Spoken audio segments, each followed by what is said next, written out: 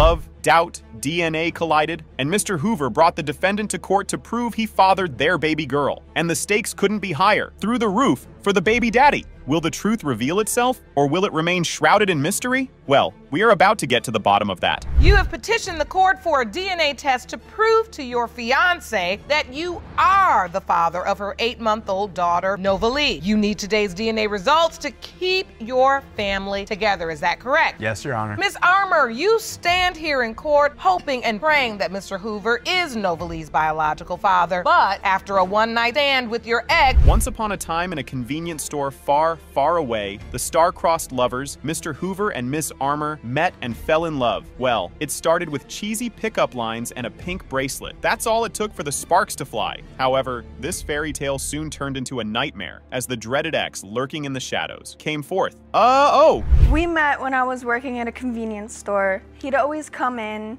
and we'd talk. It wasn't really anything other than idle chatter. And one day he came in and said, Hey, come here. And he pulled out a pink bracelet and he said, I made this for you. And it was the first time we ever really had a real conversation. And I didn't believe him because I'm like, oh, that's a cheesy pickup line. You just went and bought this. That was going all rainbows and sunshine, but the mommy destroyed it all for a one night stand with the ex. You, what she didn't know was that her infidelity came up with an even bigger cost. Dum dum dum. A baby! The baby daddy was thrilled, but mommy knew best. She messed up big time. a month or so, maybe two, and I actually found out when I was with Lee. I was scared and I told him I think I'm pregnant. So we went and got a test and went to his house. And when it came up positive, we both just started to cry because I knew there might have been two possibilities. But when I went to the doctor, Even after the confession, the baby daddy was still hopeful about the conception window. Hmm, delusional or plain old hopeless romantic. Huh, figure that one out. Moving on, as they embarked on this journey riddled with uncertainty, baby daddy was right alongside the baby mama. On October 6th, still for her birthday, and then a week. were you intimate, the both of you, in October? Absolutely. Yes, Your Honor. You Yes, were. Your Honor. So that's still, even if the conception window is where you believe it may be a little later, Mr. Hoover is still a possibility. Yes, Your Honor, All right, so let's go to the birth. Let's go to Nova Lee's birth. Who was there? Lee was along with Continuing with the mess, Ms. Armour did take the infamous X into the loop, but he didn't appear too thrilled over the news. And so, after much needed talk with Mr. Hoover, baby mama decided to cut the X out of her life for good, and he couldn't be happier about it. Gross dude indeed. that's all he said. What did you say? Well, after I had her, me and Lee had discussed it, and I was mad at my ex at the time. I did not like his lifestyle. I didn't want him in her life if she was his or not. And Lee actually did not agree with that, but we decided he will be her father.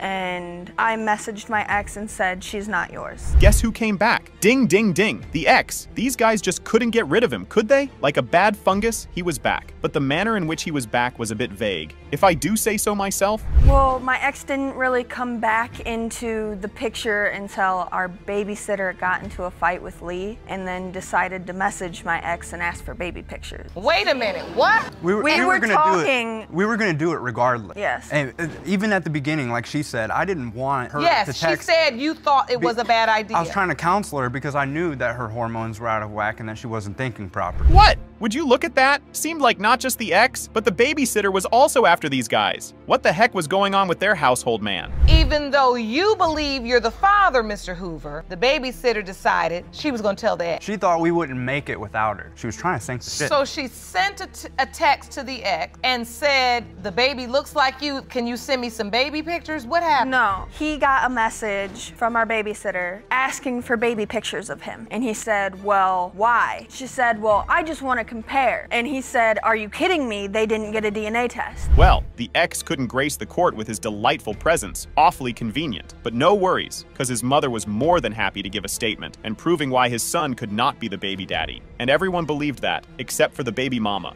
Wow. Doctor, that he most likely would never have children. The medicine that he takes for his illnesses decreases his sperm count. This would be his miracle child. This matter needs to be settled soon as possible. My son wants to add his name child's birth certificate and change her last name if he is the father. This is the statement from his mother, Lynn. The baby daddy was suffering a great deal, and his desperation was quite visible. All his answers were sealed in that envelope. Let's see what the judge's verdict held for this family.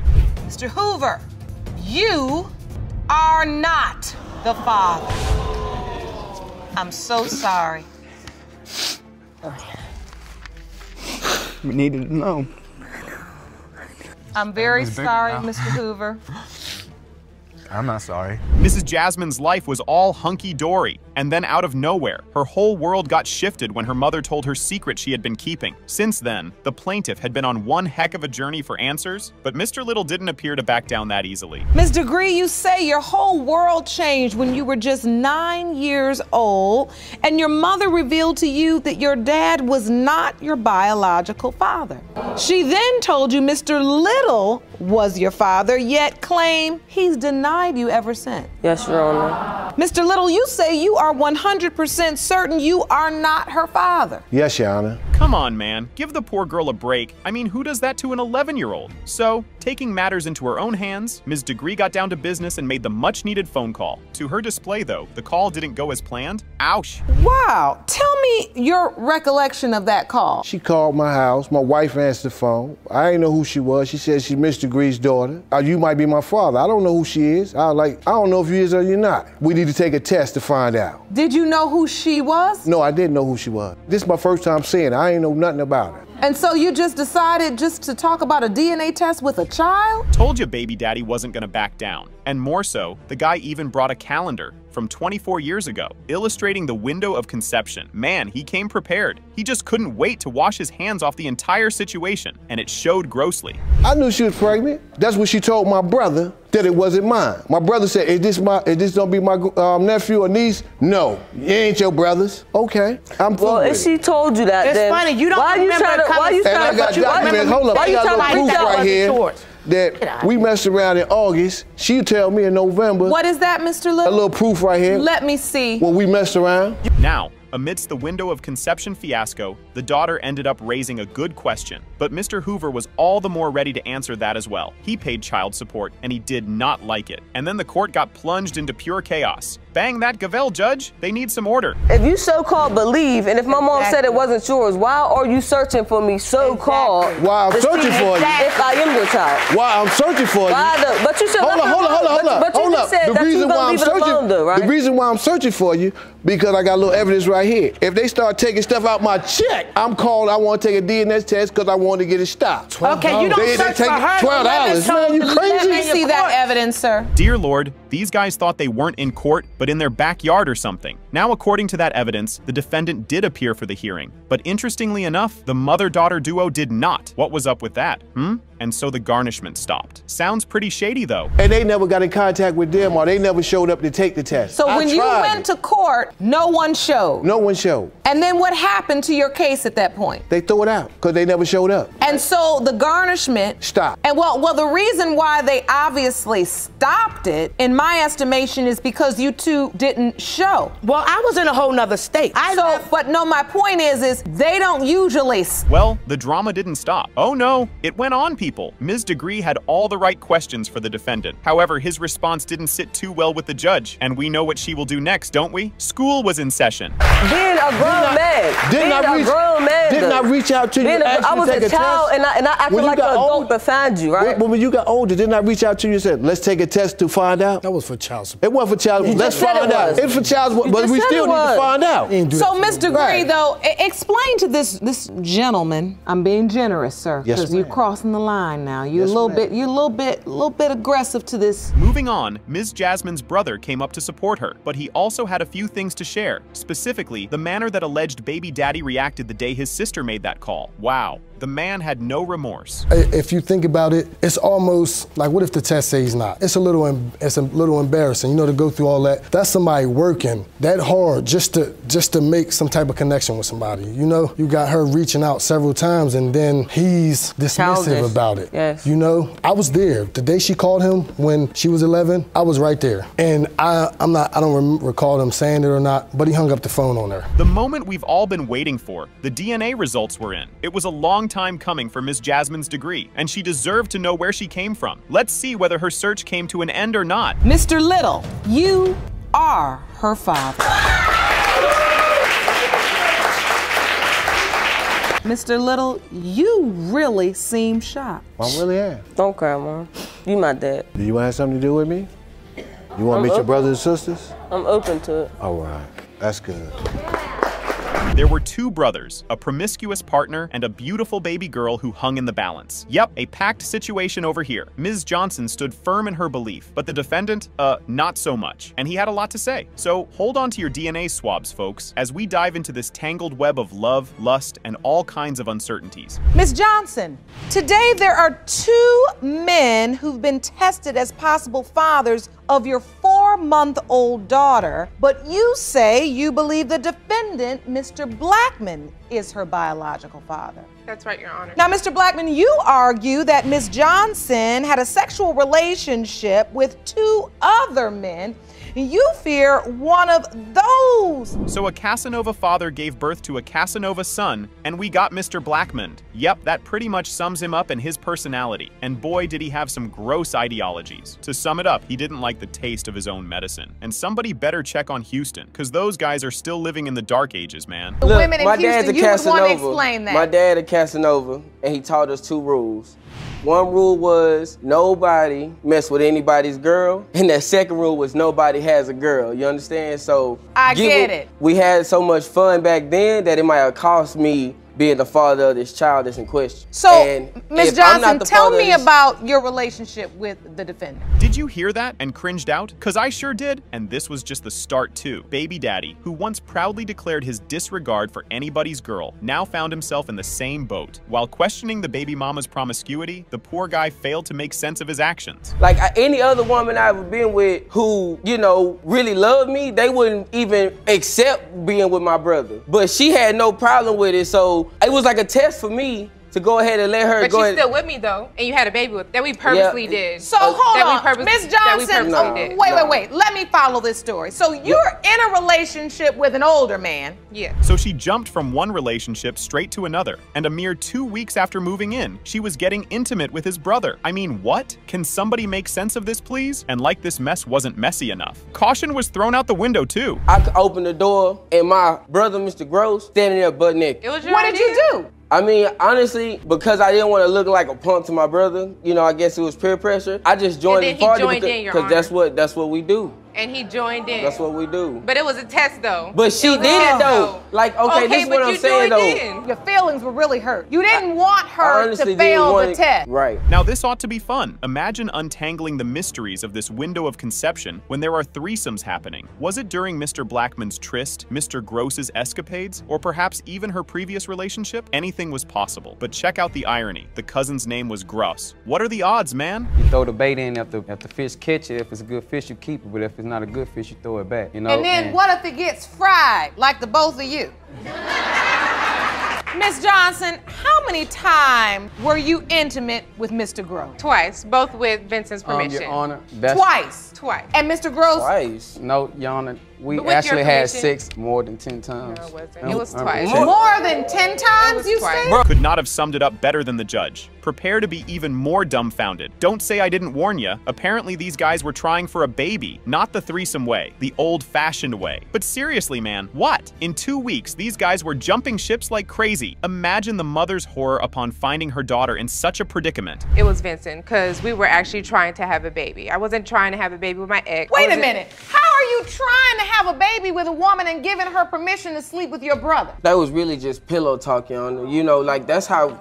Okay, that- why don't you use the condom then? Why don't you use a condom then? So, Miss Johnson, you have a witness. Your mother, am I correct? Please stand, ma'am. She gon' she gon' prove to State you. your name for the court. I'm uh, Rebecca Johnson, and Well, the mother never wanted her daughter to be here, and yet here she was. Funny how that went. I don't think even the conception calendar would help the situation here. Still, it came up. It seemed the woman was good enough for these guys in bed, but not so much out of it. Double standards, much. Your brother. And when you, of course, look at the 15th, that's the date of the threesome. Viviana's birth is on the 8th of June. So oh. as you look at this calendar, who do you believe Viviana's father is? I believe it's Mr. Blackman. Your Honor, I believe it's not nan one of ours. If you have sex with two men, you had sex with four. You have sex with four, you had sex with That's eight. not true. You had sex with eight, you had sex with 16. So I don't know who it is. Bringing the curtain down on this gross case, I bet it was a delight for everyone watching. Ew! The jokes aside, the actions produced a baby whose fate hung in balance. Let's see what the future holds for her. The paternity of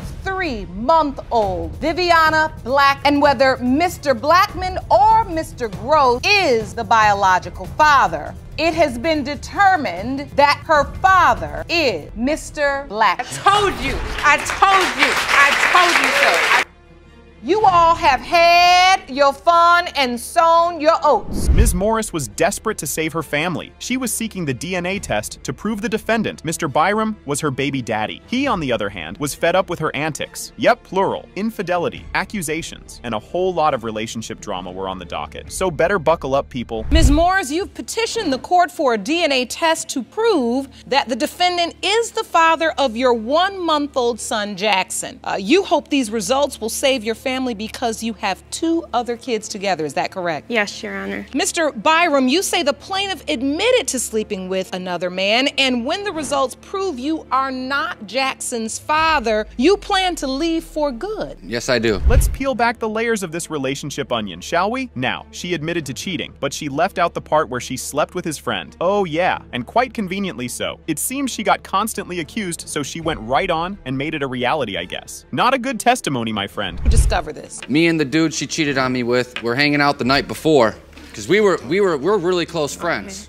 We stayed up all night, five six o'clock in the morning. I wake up probably seven o'clock. He's already gone. She fought with me the night before so she can leave and stay at her grandma's house. I went over to her grandma's to, you know, 'cause she was over there with the kids. I seen him on the couch at first through the window. And then uh, that's when I started banging on the doors and the windows. And then I go in the house. He's hiding up in the attic. So, the trust was shattered. Pretty hard to come back from that. And guess what? It was not just a one time thing. Nope, they had it going on for quite a few months. Gross, man! And now the consequences were at the door. Banging. I would go over there and get mine in the morning, and she would have him at we night. split up for we split up for a month and he was constantly blowing my phone up every day because we we completely split up he moved to his friends down the street and i was still in the house like i i was the one that got to stay at the house with the other two children And so you this this thing with the friend wasn't a one-time thing. no They were in a relationship after I moved we were in out. a They relationship got together. when me and him split up So now the bun in the oven was baked and served. Who was the chef, though? That still remained a mystery. And on top of that, the other guy was unavailable. But the guy's mother was very much in the baby's life. And while he was gone, guess who was taking care of them? Father as well. yes your honor She's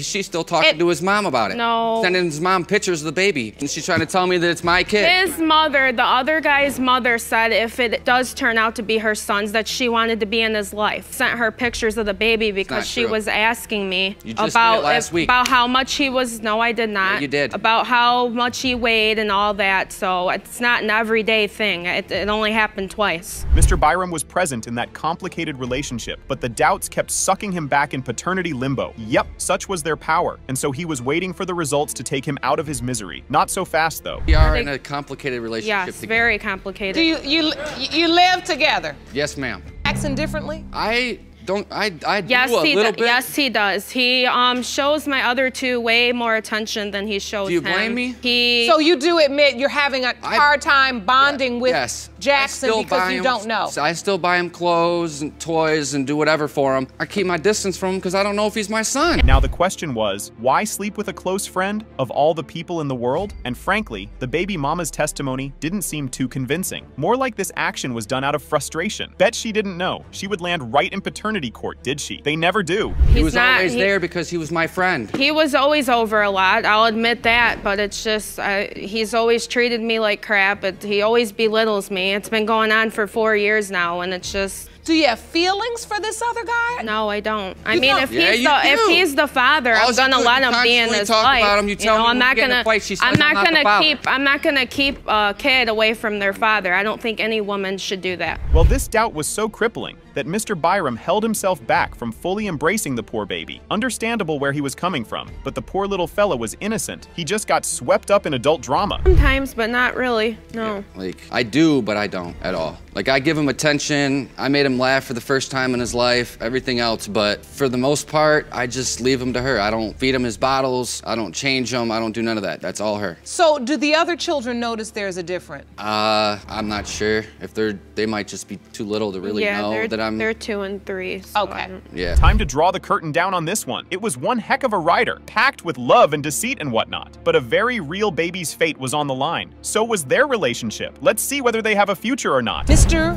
Byram, you are the father. Yes! I'm happy about this. Congratulations. Thank you. That just, that really helped me out a lot. That, that like, How does it feel now? feels great. Almost want to cry that he's mine. Miss Cochran was on a mission. She wanted to prove to Mr. Birch that he was her guy. But wait, Mr. Birch played the good old paternity denial card, and that got baby mama furious with a capital F. Uh oh. 2009, and his paternity denial makes you furious. Yes, Your Honor. Mr. Birch, you claim that Miss Cochran and you never had a relationship and were only friends with benefit. Uh, you say that you were not having sex with her during the window of conception and are here to prove you are not the father. Is that correct? Yes, Your Honor. Let's take a deeper look at this love, or should I say, love ish situation. Now, these two claim to be in a friends with benefits situation since 2009. Yeah, heard that right. Seven whole years of keeping it casual, folks. It was just a fling for the baby daddy, and it flung. Baby, why? Your Honor, he's denying my son because he doesn't want the responsibility of another child, nor does Mr. Birch want to pay child support. That's why I believe he's denying our child. Your Honor, we only had a, a friends with benefits since we first started. And I made it clear to her. I made it clear to her that's what I wanted from the beginning. I understand that Mr. Birch only wanted friends with benefits, and I was fine with that. And I understood that Mr. Birch did not want any more children, and I was fine with that. Time to dive headfirst into the baby drama. The defendant was throwing shade at the idea of being a daddy again, claiming that Miss Cochran just wants him to foot the bills. Oh my, and yet mommy insisted that he's the father, and there were some doubts floating around like confetti at a wild party. And what does confetti do? It sticks. No, Your Honor, that's that's not true. What's the truth then, according to you? At the times we would have sex, she was actually bringing the condoms to me. So you were That- using protection? No, ma'am, that is not true. We did not start using protection until after I was pregnant. I have to ask you this, Miss Cochran. Why were you having unprotected sex with Mr. Birch when you knew this was just a friends with benefit? Here comes the bombshell moment. Miss Cochran drops the news that she's pregnant, the big reveal. And how does Mr. Birch react? Well, he claims she brought condoms in the early days, but Miss Cochran insists they only started using protection after she got knocked up. It's a he said, she said situation with a side of unexpected parenthood. The Yes. course of the year. The course of the year. I was about Yes, to ma'am. say.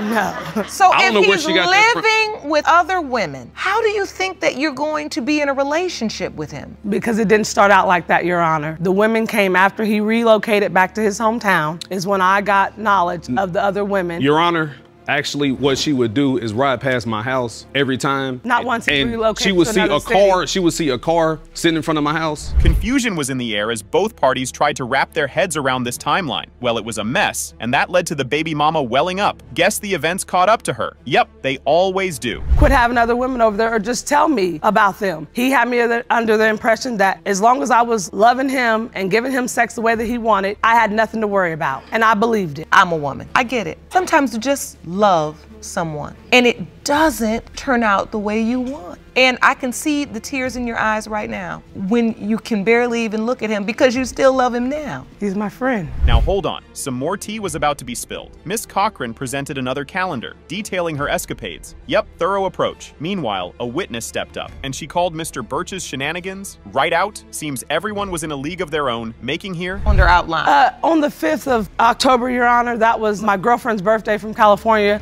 and Mr. Birch had texted me wanting to see me. And I was on the other line with her and I said, my old man's texting me, I'm about to go see him. And she said, don't give in to him. You're being a mashed potato. So because I did go there and I had sex with Mr. Birch that night, I wrote on the calendar so that way my best friend and my mother would not know that I had went back to Mr. Birch and had sex with him again. So I wrote mashed potato. Well, would you look at that? Baby daddy was trying to paint the mama a villain, and yet he ended up becoming one at the end himself. And Judge Lake saw right through him. The guy had some nerve to respond like that. Yes. His son's birth certificate at his own free will. Look, that is admirable. You Mr. already Birch admitted to my friend that he knew he was the father once he seen Unai at eight weeks old. He's a handsome young man, but if you, if you look at me, I'm midnight black. She's like 1150, and he's like 859. Yes, ma'am. So What? So Yeah. I, I mean, I'm talking about skin complexion. you feel like the child's skin color doesn't indicate that you Doesn't could be. That's correct. Well, no matter who was in the bad here, baby Unia still deserved a father, and her fate was sealed in the envelope. The only thing left was to reveal its contents, and that's what the judge did. Unai Cochran. It has been determined by this you are not the father. Miss Crocker? I apologize. And I accept your apology. I know there was a part of you that truly wanted this child to be his. Baby, you've been blind as a Betsy bug. See what I'm saying? That's a long time to supposedly not just be. Absolutely, be. that's a long you know, time, but that's them. why so we're your here point now. is, how do I believe that Well, when she you sat already there admit? told me when she admitted up to all this. She told me, yes, it's been going on the whole time. But I also, when I came clean, We did not use a condom. The bottom line is, within the window of conception, you slept with more than one man, and the sex Oh, yeah. was unprotected. I'm sick of hearing y'all argue back and forth about nothing. Oh. the baby is don't have his. You have been vindicated. Again, Miss Tillis, this is his child. What are you gonna do now? Mr. Harrison was at the podium suing the defendant. Yep, and on top of that, he wanted his name to be removed from the birth certificate after the results. Why? Because he was sure as heck he wasn't the defendant's baby daddy. Mr. Harrison, you are suing the defendant, Ms. Grant, for paternity fraud. You've also petitioned the court to remove your name from the acknowledgement of paternity document for four year old Aaliyah Harrison because you claim you signed it under false pretenses. Yes, Your Honor. Ms. Grant, you claim you may have lied about your ongoing affair, but you did not lie about Mr. Harrison being your daughter's biological father. This baby daddy accused Mama of paternity fraud, and he had his reasons. I bet he does. Now, according to him, he started suspecting the paternity through the rumor mill going around on Facebook. Yep, and apparently, the rumors were started by Ms. Grant's friends. Yeesh. I've done everything for her since the day she's been born. I've had several people come to me through Facebook and through text messaging on my phone saying that, you know, Aaliyah is not your not your daughter. I don't care what, you know, Miss Grant is saying, she is not your she is not your daughter. Are they So- explaining what they based this this assertion on? Well, apparently it's it's through several of her friends, you know, that they're maybe not she's any kind had of friends of mine, Your Honor. Those are some friends of the defendant. I mean, come on. Just to get payback from the baby mama, these guys went so low, and I believe they thought they were being good Samaritans telling baby daddy to go do some digging. to say that the person that gave me these these accusations had no reason other than the fact that they had, you know, had an argument and she felt like she had to get a little bit of revenge on on her, you know, and started telling me Okay. things such as, but also said, you know, this child does not look anything like you. You need to start doing a little bit of investigation. Well, on she's your daughter." biracial, Your Honor. What is she supposed to look like? She looks like herself. Let's leave the digging to the judge, shall we? The plot was about to thicken. It turned out Ms. Grant was indeed cheating. Not cool. I mean, duh! But if we were to believe the word of Mr. Harrison, the cheating wasn't just one instance. Oh, yeah. Your Honor, I- when he went snooping through I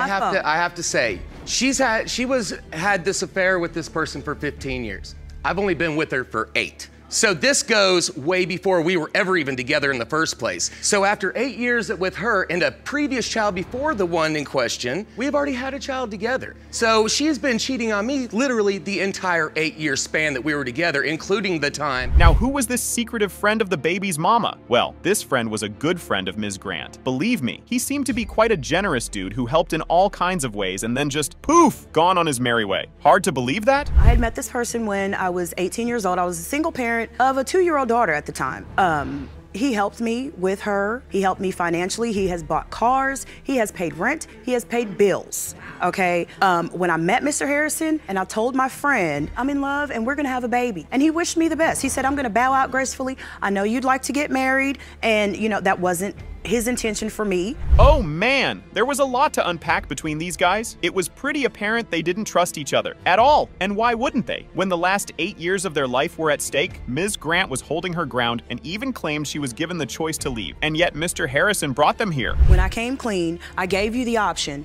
whether or not you wanted to stay, whether or not you wanted to go ahead and call it quits for good forever. Yes, you're right. Or if you wanted to go ahead and, you know, lay it out all Because I'm not on a the line. deadbeat and Because actually want to be around me my too. children if they're mine. How bad at times our relationship is, let's wait until the kids get older so that they can understand a little bit better than dad just leaving at four and seven years old. Enter the dude who started this whole paternity doubt ruckus. According to the defendant, she had been intimate with this fella when these guys were separated, and the separation was for quite some time. At this point, baby daddy interjected with a story, and soon they both were talking over each other. When were you last intimate with this other guy? Um, December. In December. Before um, Mr. Harrison and I decided to try and reconcile, um, we had been living apart for almost 10 months. Almost, almost 10 months.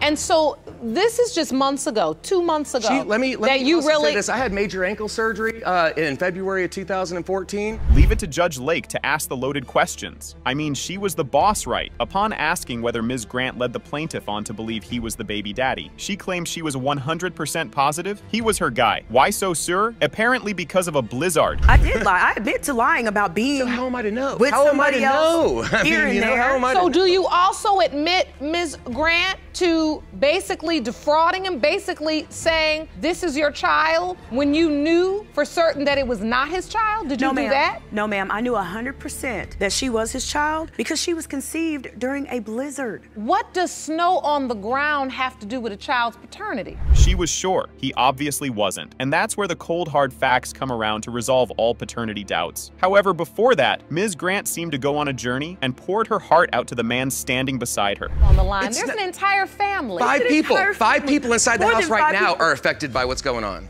More than five people. And you I have people right now telling me that I ought to be ashamed of myself for even being here to prove to this man who I am in love with at this very moment, even though he is accusing me of not knowing who the father of my child is, that I ought to be ashamed of myself for wanting to come in front of you and prove to him and the rest of the world that yes, I've done wrong. Nope. All of that gushy stuff had no effect on the plaintiff, Nada. He was still on the outs with this woman and had serious reservations. Would he reconcile with her if her claim turns out right? Most importantly, this friend of the defendant's needed to stop butting in their business. After all the lies, I just don't think I could bring myself to reconcile again with her. Her friend that had hit me up She's on Facebook not and texted, type of friend of she, mine. She apparently told her to friend her that I was not her dad. So that's Like that's, she that's knows she wasn't there with us. She, apparently you told her. No, I, don't didn't. know. She. I don't know. Okay. Her friend told you that Miss Grant said that you're not the father. Well, the paternity fraud wasn't granted due to lack of evidence. No shock there. However, the paternity doubt was still very much there. Aaliyah was four years old, whose life was on the line, and she deserved a family. Let's take a look at what her fate had in store for her. Mr. Harrison, you are her father. I told you. I'm happy. How do you feel, Miss Grant? I feel vindicated, Your Honor. Absolutely. I may have lied about my affair, but I know who the father of my child is. I really. I hope we can. I forgave her for everything. nothing. Ms. Murray had another surprise waiting for her when she came back home from her deployment. Oh, yeah, here she was glad to be home and to start a new chapter in their married life. And boom, the defendant accused her of infidelity, and now they are here. Today you say you stand before me outraged because your husband has accused you of infidelity while serving in Iraq. Furthermore, you claim he now doubts paternity of your child. Yes, Your Honor. Mr. Murray, you argue that your wife did indeed cheat on you while serving overseas. You contend that there's no way you could be the father. Shedding light on the life of a military woman overseas who was also married, BTW, baby mommy had some things to share. Now that life is lonely and full of terrors, but some other distractions were there as well. There's gonna be temptations, and there's gonna be guys that look good, and there's gonna be guys all around. And you're gonna see guys, but that doesn't mean that you have to cheat and you have to go outside of your marriage. So you admit admit that there is temptation. There's temptation all around, but I, I didn't cheat and I didn't go outside of my marriage. And I know that in the military, there's a rule that we can't do that. All these issues started when Miss Brown got deployed. There she was fighting for her life, and here the husband dearest was wondering what kinds of fun she must be engaging in. Man, this dude had some serious insecurities. Going overseas, don't know if I'm gonna ever see her again. And if I do see her again in one piece, is she still gonna have love for me? It's a lot of men's on base, younger men. Keep in mind, I'm 22 years older than my wife. So that has a lot to do with it, uh, my being guilty or bad conscience. Because you feel like she may have wanted to be with someone younger. Apparently, the defendant wasn't always this doubtful of his wife. Hard to believe, right? This doubting fiasco began when a visitor from the apartment complex let him in on the secret of what actually takes place on the base. Military people either still active or not. And this young boy told me, he said, which really, really, this is when I really started, got worried. He said, in the military's world, when they overseas, eh, they have a group of people, and that group got to stay with each other. If they're there for two years, this is the only group of people you're going to see for two years. This doubt had been bothering the husband a lot, clearly, as he did some research to understand the dynamics of the military. Along with that, he also came along with a witness who wanted to remain anonymous, mysterious, and wild. Mr. Murray wanted you to testify today as to the dynamics, the goings on in the military, because, of course, as you know, he has definite concerns as to whether or not his wife was faithful and whether or not her child is his biological child. Can you explain? Absolutely. Things have gotten interesting. Yep, Mr. Murray strongly suspected that Ms. Brown's special friend from the military had something going on with her. On top of that, Mommy was in constant contact with him as well, which certainly didn't help her cause. Is that who your husband thinks the father of your child really is? Yes, that's who he thinks wait, that wait had sex with. Wait a minute, let me back that up. When I picked her up in November, we was riding around in the car.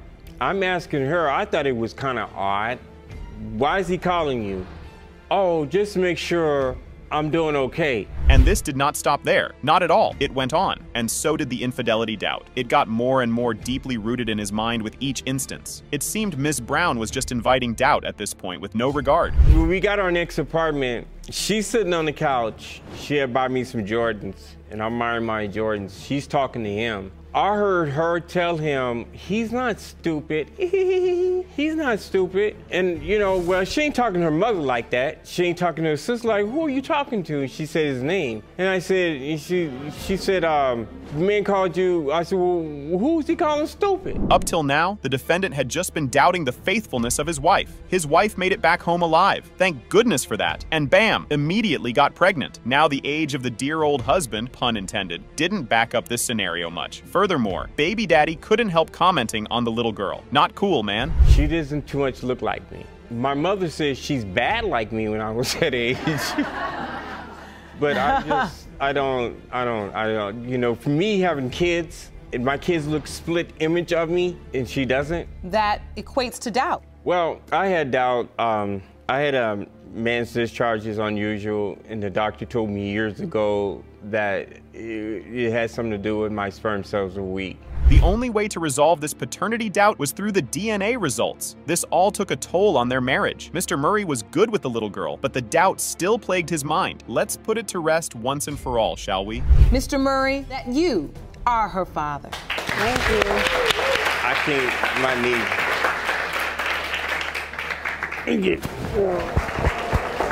Within a three day period, this plaintiff had been quite busy, the kind of busyness that now led her to seek help from the paternity court. The defendant seriously doubted the paternity of little baby Marley. Here we go. Ms. Cook, you confess you had sexual relations with your husband, Mr. Edmond, and then cheated with another man. Yes, Your Honor. All within a three day period.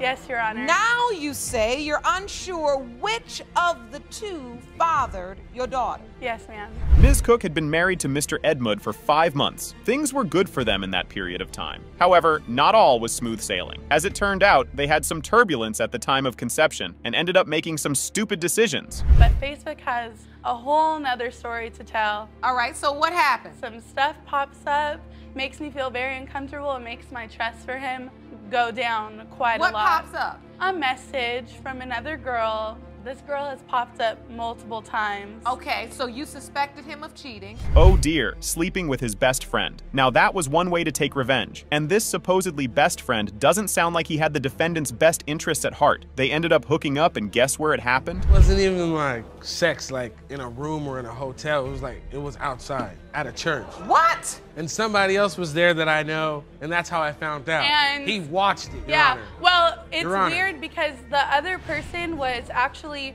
pretending to be asleep and secretly looking over his shoulder. In a nutshell, she cheated, he cheated, and then she cheated again. Wow. Hard to keep track of this toxic situation right. Like this wasn't messy enough. They did all of this without any protective measures. Yep, and the rest was history. I was with my husband at the time we were boyfriend girlfriend. Um, we were together basically every day. We did not use protection, and the other, the the second guy, which is embarrassing to admit, but we did not use a condom. The bottom line is within the window of conception, you slept with more than one man. So Ms. Cook was now pregnant, and she chose a doctor's appointment to drop the bomb on the boyfriend's head that there could be more than one possible baby daddies out there. She dialed the other guy's number, and this was their conversation. now.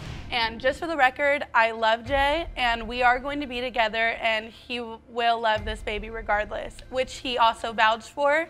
He took the phone, he called the, he talked to the other man, and he said, even if you're the biological dad, I'm still the one making sandwiches. I'm still the one doing her hair, and you can come on the weekends. Enter the defendant's sister, his witness. Now she came charged and ready to take down the baby mama. Oh yeah, they weren't a fan of each other, but they were cool with each other initially. And then the sister saw her walking down the street, not alone, I would drive up and down the street, see her from her little organization or whatever. I would pick her up, we'll talk, you know. And then one day I was riding down the same street and I seen her walking up and down the street with one of Jared's friends with the arm around the neck and all of that. Okay, all Your of that. Um, first of all, I would just, I would like to say something did happen with that friend. Yes. Ms. Edmond wasn't done talking yet. Nope, she had a lot to share about the shenanigans of the plaintiff. Moreover, she was absolutely positive the baby wasn't his brother's. Why? Because of the baby's appearance. How can you be a woman and say, you know, oh, I admit to sleeping with your best friend, but this baby is a thousand percent yours? Like, what you mean? We live in a city where it's 90% Hispanic. You cannot look at that baby and tell me that you're a thousand percent sure that that baby is African American. Get I, out I here. could. Get out of I here. Would. Get I out of here. All right, so Get hold on. Drama, drama, and even more drama. These guys have forgotten that they were standing in a paternity court and not in a divorce court. Baby Marley's life was on the line, and all they could do was to get involved in nonsense bickering. It was like supposed what? to be I can't my. get pregnant, though. But you didn't use a condom, so I can't how get many other pregnant, girls have you gotten pregnant? You like feel four? me? Who Okay. cares? I can't get I pregnant, care. though. We're Why? married. I Why? care. I care that Why my would husband is. a But are we marry a man not that already got here dealing with the paternity regarding Marley? Yes. Let's talk about that. See, the thing is, I know you all like to run your mouth and get off the subject, but you're not gonna get me off the subject. Apparently, there were other issues in this relationship as well, and these issues extended to the baby daddy's family as well. According to the defendant's sister, it was a black and white issue. Heard that right? Well, color me curious, and let's hear it. She chooses to throw that up in my family's face and also my brother's face, you know. In what She'll way? tell him that, oh, I'll start screaming and they'll call the police on you and you better not touch my car door. It's been many a times when my brother has called my family members, asking them for a ride because Megan done left him stranded somewhere. All of that. I'm leaving, and when you tried to pull me out of the car and you tried to threaten to break my car, take out the battery, me- break the windows, Oh lord, they shouldn't have gone that far. Or better yet, baby mama shouldn't have gone that low. That was just insane. Saying that to the man you claim to love and had the nerve to justify that you weren't racist. Shocking. Be in a relationship, a marriage with a black man because you claim to love him. Yeah. Possibly have birthed a biracial child with a black father, and then in an argument dare to bring up his skin color and race. No, what I did say is Yeah, you clarify. See, I did say, okay, I was like, so if the cops come here and they see you and they see these marks on my arms, Ms. Cook also brought a witness along, her grandma. Apparently, baby mama recently came into some money through a settlement, and she suspected Mr. Edmund was after that. But that clearly had nothing to do with the matter of paternity on hand. Granny was sure the defendant was the baby daddy. It doesn't really have anything anything to do with paternity, but I mean, if they're if they stay together, it would ma- it would make a difference in their life. If if he's just there with them just for the money, I just don't know. Do you have any type of assumption as to who you think uh, beautiful Marley's father is? I have absolutely no doubt whatsoever that it's Jay's baby. And why don't you have any doubts? Because just what that the mean? way they there are. you go with this cheering. This drama has gone on for way too long now. Baby mama was in her own head and not appearing so mature. Baby daddy was doubtful, no idea which way this whole fiasco was gonna go. But the results were in. Mr. Edmund, you are her father. Happy about that, and like, I love my wife. I love the baby. Good. I love my sister. I just don't want people fighting. You know, I hope it brings people that much cordial or to get that much closer to be in the same room at least. The second time's a charm. The plaintiff was back in court to prove to Mr. Jalek he was her baby daddy. However, the defendant had a lot of doubts regarding the paternity of baby Joni and wanted to put an end to this here and now. Ms. Tillis, you are back in my courtroom today for a second time. Yes, ma'am. Now, you say Mr. Jalik is denying your six month old daughter, Jayani, because he is confused and delusional. But you have no doubt, you say, that he is the father. Is that correct? Yes, Your Honor. Well, these guys had issues, obviously, but they were still living together, cohabitation and co parenting. The husband whipped out the conception calendar, and it was highly detailed, I may say. These very details led him to doubt the loyalty of his wife and the paternity of Gioni. She was not born a preemie. She was full healthy on April the 1st. So when I did my calculation, I'm like, wait a minute. If I was out of town during the end of June coming into July, and she was born healthy on April the 1st, the time frame don't add up. That means you was already counted pregnant. back. Yes, ma'am. That would have put her, con- her window conception up here around the time I was I wasn't even in the city. Next up, the defendant presents another shocking testimony. Apparently, Mr. Jalek got hold of the mommy's phone through their eldest kid. Interesting. The guy went straight to her gallery, and ding, ding, ding, there was a surprise just waiting for him there. He had her phone that's open. I directly went to her gallery. In Miss Tillis's photos, you have a picture of a month-old fresh newborn, which is right here, and one of her ex-boyfriends cropped together in her phone. The baby ain't even 60 days old yet. Why is you cropping a picture of my daughter with your ex? Uh, that's a great question. And I told him I was on the phone with my sister. You know, like I could say, "Oh, you look Don't like." none of that make sense. Baby daddy had expressed his doubts pretty clearly and more than on one occasion, and yet baby mommy kept on having fun with the guy. Moving on, baby daddy revealed another rather interesting piece of information that further led him to doubt the paternity. Why do that with her? Why why say little stuff? If you feel like she's Because not I'm yours, still why grown. do all this Because extra I'm still a grown man. Right. This is this this is we know for a fact she's Jadis' sister. What we trying to figure out if I'm Jayani's father. So whatever I do with Jadis, I'm gonna do for Jayani. So she don't feel nothing but unconditional love for me. I'm a I'm a boy maker. Period. Point blank. Mr. Jalik was pretty adamant he only had the ability to make boys, and when baby Gioni came into their lives, it appeared downright impossible for him to have fathered her. Now, why was he so certain about that? That is the question. So you have four boys. Yes, ma'am. And you believe you only make boys. That's all I got. So do you have any other evidence to support the fact that you just make boys? I was told a long, long, long, long, long time ago by a family member Right?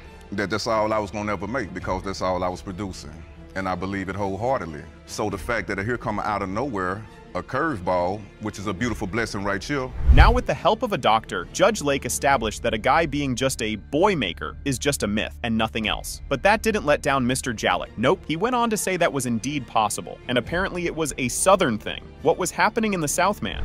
Pickle juice is a natural remedy as well. A natural remedy for what? Just keeping yourself tight and right. But what does that have to do with producing boys? See, I can't, I, I can't go. It's a southern thing that we was taught way, way, way back, way, way back. I got time. What is it? If you combine pickle juice, prune juice, and lemon juice, you produce more boys? Yes, ma'am. Those three juices. I've been running down through there, Yana. I ain't got nothing but boys. All this craziness aside, there was a real baby whose fate and life were at stake. Time to put this doubt to rest and see whether there will be a third time here for these guys. Oh, I hope the southern things of Mr. Jalik turns out to be a total bust.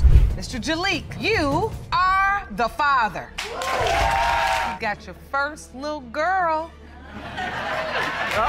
You gonna have must to have switch- drank a different smoothie that Gonna have to switch up your juice. Yeah, it's, uh, I'm uh, proud. You know, like I said, I'm human. World where doubts and secrets are looming large left and right, let's delve into the riveting case of a mother, a potential father, and a child with a mysterious medical condition. All the right ingredients for a paternity mess? The baby mama was ready to prove to the daddy, once and for all, that he was her guy. Let's see how he takes that. Miss Clary, you are petitioning the court for a paternity test to prove to the defendant that he is the father of your son, Gage, who has multiple medical needs. You say Mr. Asanato owes you $15,000 in child support, and you demand he pays you what he owes. Yes, Your Honor. As the story unfolds, we get to witness the defendant's side of the tale. He had been slapped with a $15,000 child support bill for a kid he swears isn't his. She had him sign that birth certificate, but he's crying foul. Betrayed and hurt, he's got some serious doubts about this pregnancy and a colossal mountain of resentment to go along with it. So, Mr. Asanato, I have to ask you, you owe $15,000 in Honor, child support? No way that I owe $15,000 on a child that's not He mine. He signed the birth certificate. She's basically roped me into signing a birth certificate for a child that she told me that was mine and has taken me to court for child support. I've paid almost $15,000 in child support. So, two married individuals decided to hang out, shoot some pool, and watch a few movies. Sounds innocent enough, right? If only enough that was the case. Because when a pass was made, the dynamics shifted from friends to lovers pretty quickly, and there you have it a classic messy love affair. Fast forward to the pregnancy bombshell. She's pregnant, and he's in shock. He claims she led him to believe the child was his, but the truth is far from clear. You thought you were exclusively together, girlfriend, boyfriend, No, ma'am, she was married at the time. Your Honor, oh. when we first met, we both were married. When we both met, we were separated. I wasn't with my husband for a year and a half whenever I got Your Honor, to see that's my not son. true. Take me back. We- I was let, let me understand this relationship. When you met, you both were married. I was separated from my wife and I moved into a townhouse. The timeline gets murkier as they reveal they weren't living together when the child was conceived. People, arguments over whether she was seeing someone else further added to the confusion. It's a classic case of he said, she said, nothing new in the paternity court. It was a regular feature. So you all were living next door to one another for four years No, ma'am. That's oh, when we first met. We lived together on and off over the last eight years. When my son was born, we were living together. She was not living with me. I, yes, I was, and I When was she also got pregnant, she moved in with me when she got pregnant because I wanted to do the right thing. Well, she said that when her son was born, she was living with you. That was right. Yes, ma'am. That's correct. That is correct. Hold on to your seats, people. We're diving headfirst into the hospital drama of baby Gage's birth. Mr. Asinato, the potential father, claims he wanted to do the right thing when he found out about the pregnancy. But was it all smooth sailing towards family bliss? Nope, and the child support battle is on. Unfair? I want to get to the birth. Yes, He was you the say hospital. after she found out she was pregnant, you wanted to do the right thing. I did. You had her move in. Yes, ma'am. When Gage was born, you were living together. Yes, ma'am. So you into my house. were? Did you go to doctor's appointments? Did you No, he support did her not, through Your this? Honor. Did you go to the hospital when Gage was born? I did. He was at the hospital when the baby was born. Hold the phone, people. Things were about to heat up in this custody clash when Ms. Clary asked for help with diapers. Well, Mr. Asinato responded with a not so charming remark, and so the child support saga began. But here's where it gets twisty. Doubts crept in as baby Gage faced medical challenges. Told me, I told him my son needed diapers. He's like, You're such a whore. Go work the street corner for diapers. So I turned around and went and filed child support. That's when he started denying my son. When did your doubts set in and why? Gage had a lot of medical problems when he was a baby. He had colic, he had ear infections, he had multiple, multiple problems. Buckle up for a cultural roller coaster, folks. The question of baby Gage's parentage had taken a scenic route through different backgrounds. The courtroom dove headfirst into the cultures and lineages, all about the paternity of the baby. Wait for a second. Was the Mediterranean the magical word that unlocks this paternity puzzle? We shall see about that. Mr. Asanada, you're not African American. I am not. You're not of Asian origin. I am not. But are you of Mediterranean descent? I'm Italian. I don't know Which if is that- I believe Mediterranean. So. Right. So the answer would be yes. yes, ma'am. So this Irish. is one of the main issues that you feel like you don't understand why he's denying Exactly. that Gage could potentially be his. Well, this drama wasn't going away anytime soon, and these guys were just going around in circles. But Baby Gage needed real answers, and Judge Lake had them all ready for him. Let's roll them out then. Mr. Asanato, you are not his father. I did not sleep with anyone else. I slept with somebody two months prior. Miss Clary, you had me convinced. Your Honor, it was two months before. Mr. Smith brought the defendant to court to prove he was her baby daddy. Yep, in a twist of events. A guy was here singing the baby daddy tune, but the mommy wasn't having any of it. Ms. Jones was ready to prove otherwise, and we were here for it. Mr. Smith, you are here contesting paternity of your ex girlfriend's three year old daughter, Janiyah. You claim Ms. Jones is sex crazed and had intercourse with multiple men during the time of conception. And you intend to prove you are not her child's father. Is that correct? Yes, Your Honor. Ms. Jones, you say Mr. Smith is nothing but a deadbeat who will grasp onto any excuse to get out of being a daddy to your daughter. Picture this Mr. Smith and Ms. Jones, the dynamic duo turned romantic. That is, if you can call it that. Best friends turned friends with benefits pretty soon, and eventually crossed the line into the unknown. Dumb, dumb, dumb, da. Say it theatrically. It's a classic tale of modern romance, folks. What was your relationship like? We were best friends at first, and then we started having sex. Wait, hold on. We became best friends the day we had sex. What? Explain. Uh, Your Honor, we met at a party, went home with her, had sex with her. Then after that, we hooked up a couple more times. We was friends with benefits. Oh, so you're saying the sex happened immediately? Yes. Oh, so you met at a party, had sex that night? Yes, Your Honor. Okay, that's not best friends, that's a booty call. But wait a moment. The air was filled with betrayal. The defendant was questioning everything. Baby mama accused of being a sex addict with a penchant for fibbing. The doubts about the baby's parentage are as thick as the plot in a daytime soap opera. Did you have a boyfriend, Miss No. Jones? So you didn't have a boyfriend when you met him? No. Were you having sex with anybody else? Yes. Oh, you were? This around the same time of conception. No, Your That's Honor. around the same time. I was having- So boyfriend or no boyfriend, I mean, sex is what makes babies. So if you were Yeah. having sex with somebody else during the window of time you were having sex with Mr. Smith, how do you I was having the other sex, guy out? I was having sex with this man in July. Well- I got well, into a Honor, it's- relationship it's with a- him in August. Now picture a timeline so baffling, it would give Doc Brown from Back to the Future a headache. Yep, sleeping with multiple men, having the time of her life, overlapping relationships, and boom, a foggy conception window. The boyfriend she was with when you met her, but another guy. Yes, Your Honor. Was there another guy, Miss Jones? Um, that's the one that I'm talking about in July, that I had sex with in July. All right, so you say that you're saying the timeline though is off because you had sex with him in July Well- and you believe you conceived at the end of August. Yeah, I was. So, I got in a relationship with so him. was that an ongoing sexual relationship with this guy? That was just the one night stand. I always wanted to have sex with him. Let's roll out the drama filled exhibits. Folks, we've got desperate cries, birth certificates drenched in anguish, and witnesses who've seen it all unfold. This was one wild ride, but now we were all buckled in. So let's see it to the end. A collage came out. A collage? Yes, with me, the baby,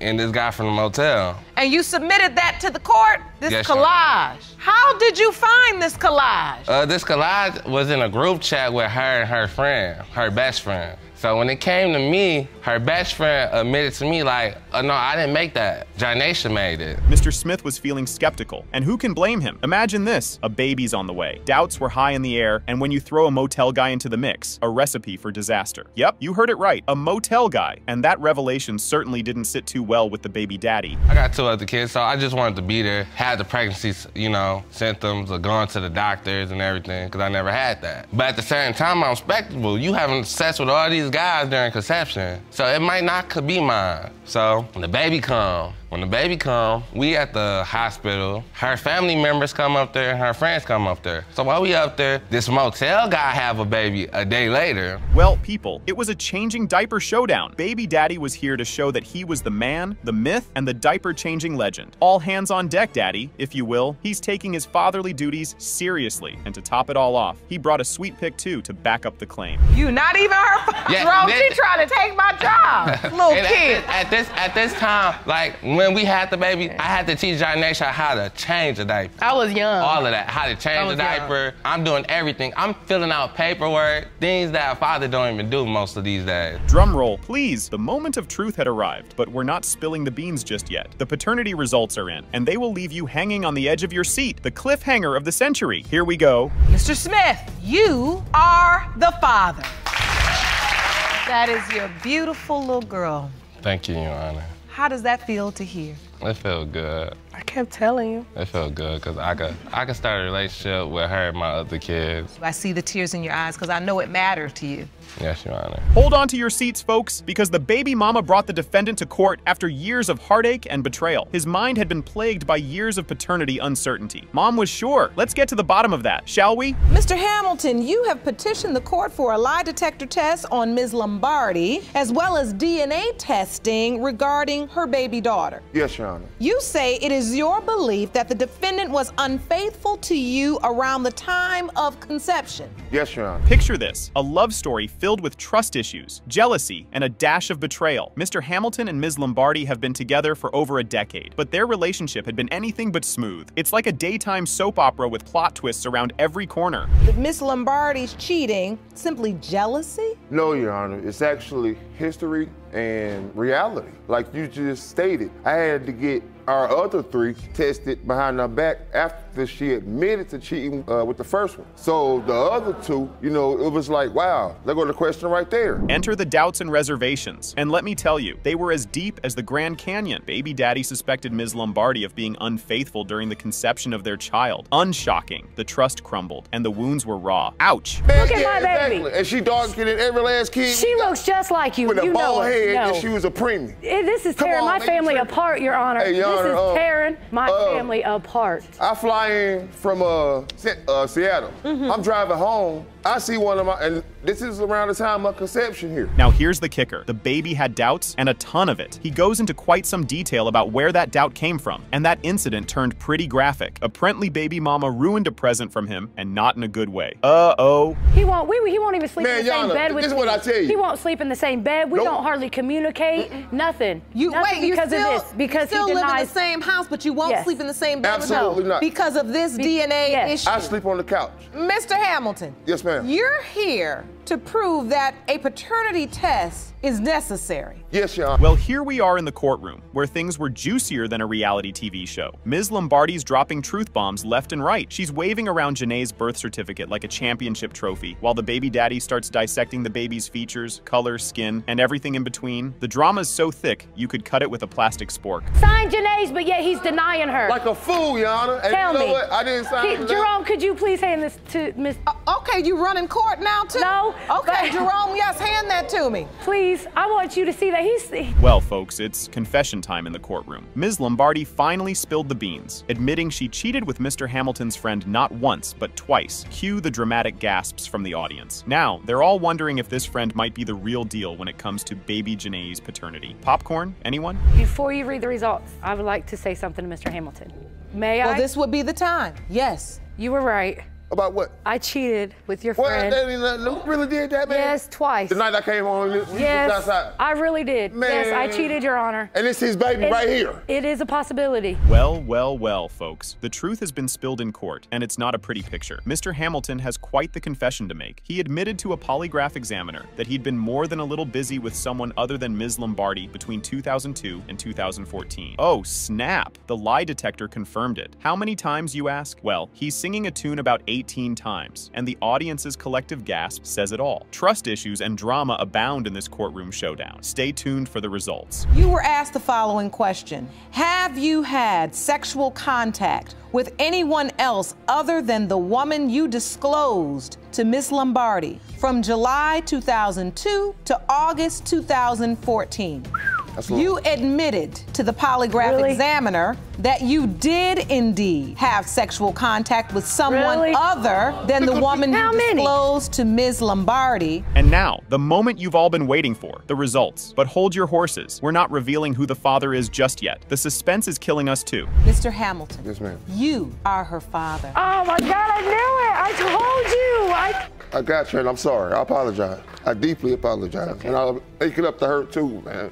I I'm knew sorry. it. I knew it. The father she believed was her biological father was now singing a different tune. The suspense builds up as the question of paternity and a hefty will take center stage. Here we go! Ms. Booker, you say your childhood was full of bullying and pain. Now, the only man you have ever known as your dad is denying paternity. You and your mother opened your case to prove to the defendant that he is your father. Is that correct? Yes, Your Honor. Let's rewind the tape a little. Now Mr. Booker and Ms. Gant were once an item. Things were going well, and then bam, a mysterious man sneaking out of their apartment. Uh-oh, now there was doubt, and the baby ma'am fueled that doubt even more. Your Honor, I raised Lorraine and my other daughter, Rashida, mainly by myself the last part of their lives. Miss Gant was nowhere in the picture. Now, as far as the will is concerned, yes, if Lorraine is not my biological daughter, she's got to come out of my will to make room for my two daughters who are my biological. Next up, Ms. Gant added fuel to the fire, and in the heat of the moment, and ended up saying something that was icing on the doubt cake. Now, baby mama felt like the odd one out, even with the baby daddy providing for her. That was indeed a pickle. The following month, Miss Gant became pregnant. Miss Gant had that baby. Now, the thought that Lorraine, not my biological child, was still in the back of my mind, but I'm still going to be there. You know, we in this relationship together, I'm still going to be a father and still there. And I was.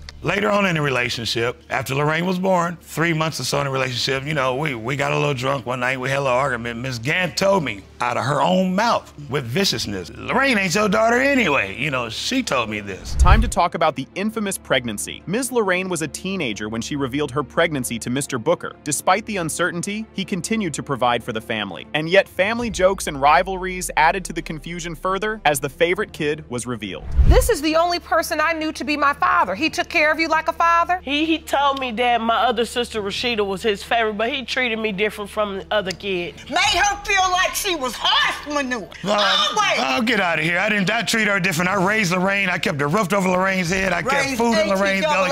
I kept Lorraine. clothes on her back. Now, the baby mama was sure she had remained faithful, and yet baby daddy didn't fall for it. Meanwhile, the favorite kid made the life of the plaintiff as difficult as possible. Who knew siblings playing the game of dozens would end up traumatizing a kid? Oh my god!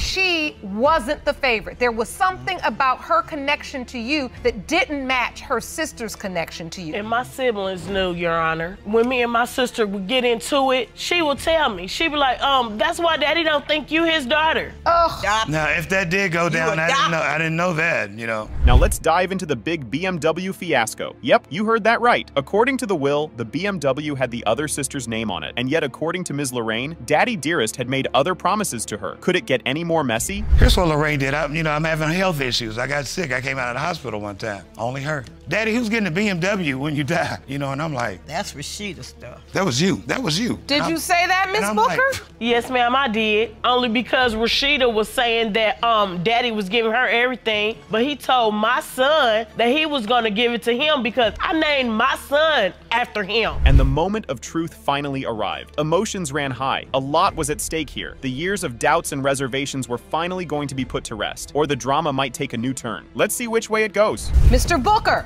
you are the father. I told you. I told you. I love you. Oh, Come here to me. Thank you, Charles. Thank you. Thank you, Charles. sorry. Thank you, Charles. Oh, really? Thank you, Charles. The plaintiff brought the baby mama to court after she ended up tilting his world right off its axis. In the electrifying world of paternity disputes, we have Mr. Lloyd and Ms. Rayleigh, all ready to fight out this paternity battle. Mr. Lloyd, you are in court today to prove that you are the biological father of the defendant's one and a half year old daughter, Courtney Marie Grimes. You claim the defendant led you to believe that you were the father only to have a bomb dropped on you that another man was her dad. Is that correct? Yes, Your Honor. Ms. Rayleigh, you say you are 100% sure that Mr. Lloyd is not Courtney's biological father. A love triangle that would even make our dear Shakespeare blush. Baby Mommy, the mastermind it seemed, was phenomenal at juggling. Her objects of choice were, though, rather peculiar. And so the drama begins. Let's start from the beginning. I want to understand the nature of this relationship. So you you were in a relationship with somebody else when you met Mr. Lloyd, or were you in a relationship with Mr. Lloyd and met somebody else? I had just recently got out of a relationship when I had met Mr. Lloyd. Uh, of course, I was ending my last relationship with Miss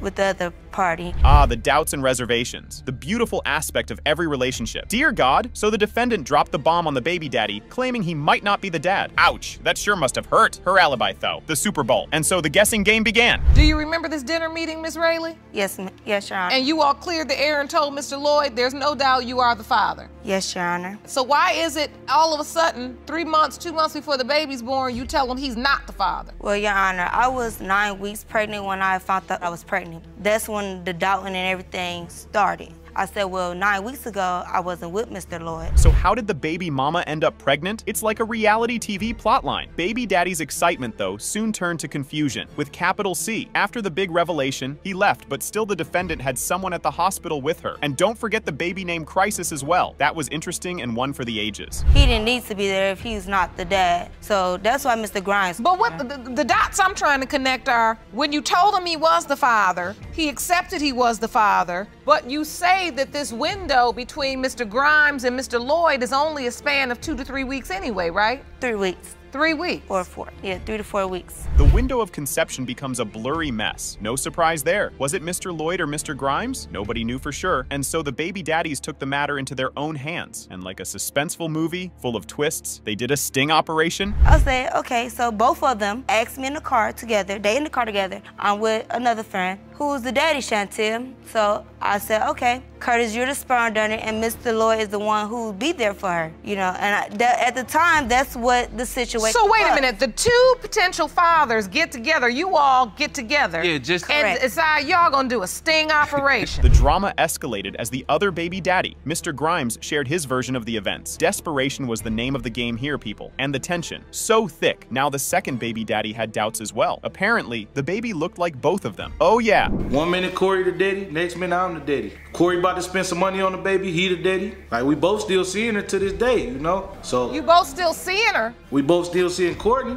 I mean, he he go he been to Memphis more than me. I've been to Memphis one time. He been down there three, four times. but Shantia not telling me that. So, neither of the baby daddies was supporting baby Courtney. Did you find that surprising? Because I sure didn't. However, the plaintiff was ready to support the baby. On the other hand, you would be surely surprised to know how many kids Mr. Grimes was supporting at the mere age of 23. Dear God, in the heat of the moment, baby mama ended up saying something ignorant. Yikes! Have you helped with this child? Yes, Your Honor. You have Mr. Grimes. She has your last name. Have you been helping to support Courtney since she's been born? Man, I'm gonna tell you like I told Shantia. I told Shantia when Corey, Mr. Lloyd get out of her life, I told her give me blood, I give her baby love, basically. I'm tired of her playing both sides. I got six other kids that I gotta worry about. She's not finna keep playing with this got kid. eight. If Courtney minds, Courtney makes seven. These guys were just playing the age-old blame game. Ms. Riley broke down and poured her heart out. Yes, girl, let it all out in the court. And while she did that, Mr. Grimes had the nerve to interject. Come on, man! He's not the father. I never told him that he wasn't the father. To hear him say this in court today, he would never,